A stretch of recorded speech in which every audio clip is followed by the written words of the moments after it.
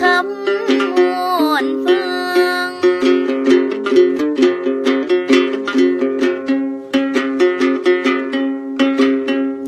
Đưa ba khổ theo đường canh mang ơi, nước việt nam bừng sáng tương lai trần công đồn pháo đài tăng pháp từ mò nhảy quân hai.